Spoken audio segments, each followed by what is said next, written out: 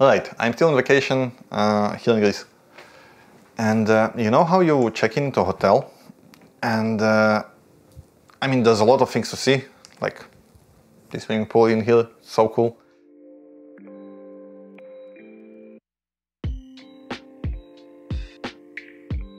But then at the end of the day, all you want to do is kind of lie down in the hotel and watch your show. But for some unknown reason, I don't know why, but hotels decided that the TVs should be useless. Wait, let me turn it on and I'll show you that. When I turn on that TV, look what I get. It's a huge, nice LG TV. And then you get that thing. Who uses that? Why is that needed? I get television, change the language, weather is forecast, and then internet. What does internet even do? Nothing. It does nothing. Why is that needed? Now, what makes it even more annoying is that there's so many good things like on my Chromecast and uh, on the streaming media that I could gladly watch here. But no, the hotel decided you get nothing. You get an internet button that doesn't even work. I don't know why it's still. I think it's time to fix it. It's time to hack the TV.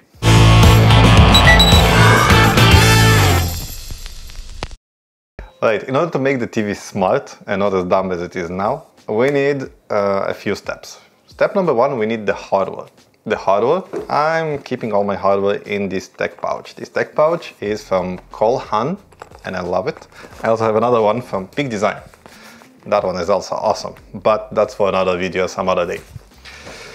Anyway, opening the pouch and taking the hardware. I um, carry with me always this uh, Xiaomi Mi, stick, Mi TV stick. The Mi TV stick allowed me to make a, any TV a Google TV, which is awesome. Now, if I would get one today, I would get the new Chromecast with Google TV instead of the Mi TV stick because, well, when I got that one, the Chromecast didn't come out yet. Uh, it's cheaper and it's cooler. But that's what I have and that's what I'm gonna use and you can use that as well because it's awesome. Okay, by the way, the old Chromecast without the remote would also work. It's much lighter to carry, but it's a lot more hassle to set it up. So if you have it, use it. If not, don't buy it just for this. In addition to the streamer, you need an HDMI female to female adapter.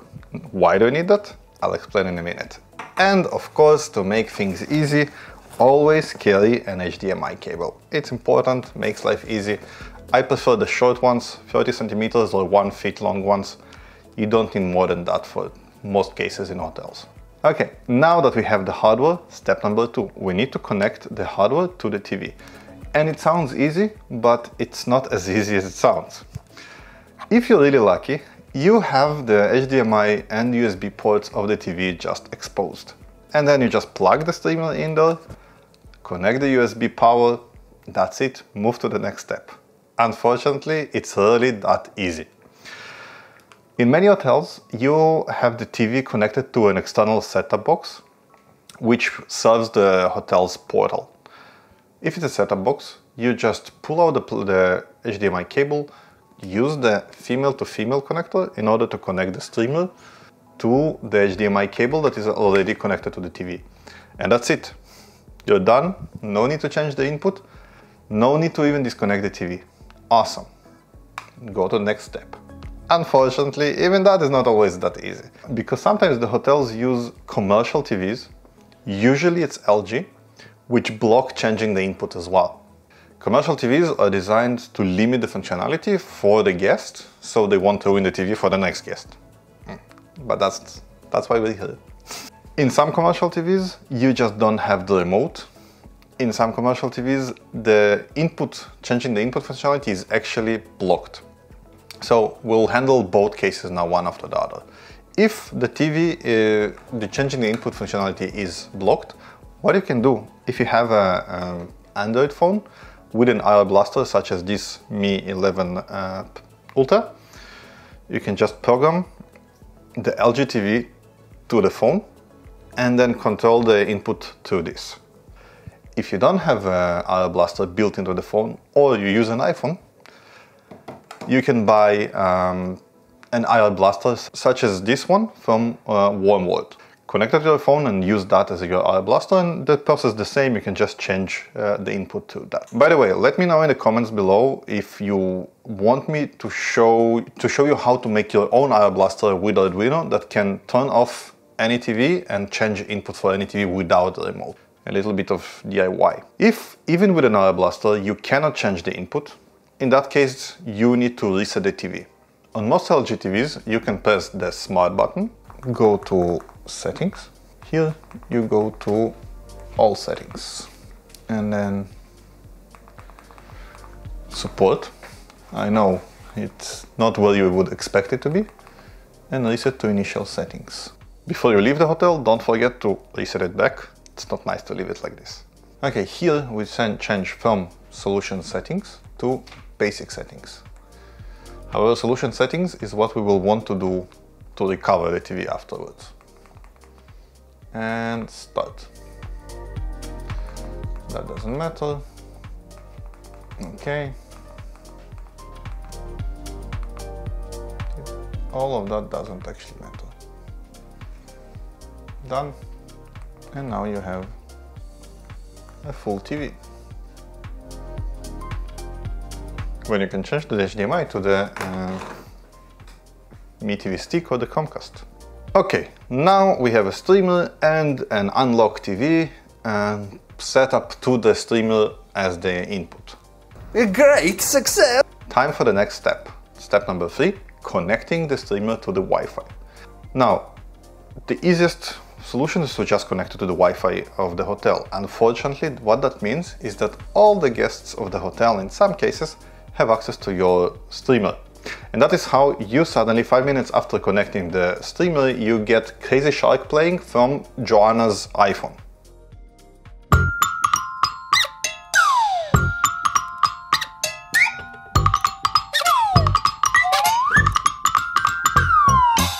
We don't want that.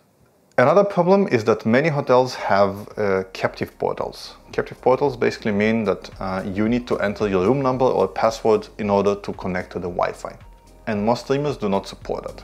Okay, so how, how do we solve it? How do we go around it? Uh, and again, with Android, it's easy. If you're using an Android, you can connect to the Wi-Fi, connect to the captive portal, and then open a hotspot.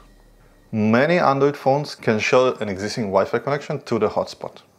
And again, unfortunately, if you use an iPhone or an Android phone that cannot do that, you will need to buy a travel router, such as this one from TP-Link that costs just 30 bucks. Once you connect um, that router to the Wi-Fi, you can use your laptop to log in into the uh, captive portal and from there um, just connect the streamer to the router. The streamer now has its own private Wi-Fi network so none of your neighbors can connect to that uh, streamer, while you can still stream uh, easily.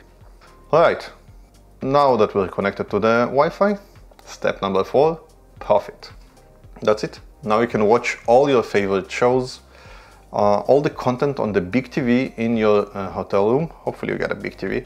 Also, if you want to find out how to um, connect to US-based shows from anywhere in the world basically for free, to a VPN that you set up yourself, check out this video where I show how to make your own VPN for free. If you're interested in my media setup and to see how I stream video to the uh, streamer, leave a comment below saying I want free media and I will uh, make sure to make a video where I explain that as well. Alright, I hope you enjoyed this video uh, and now you can stream your media anywhere you travel. If you have any questions or ideas, leave them in the comments below. Be sure that I read every single one of them. To see more of my videos on tech and digital life hacks, be sure to subscribe if you haven't already. That's it, see you in the next one, bye bye.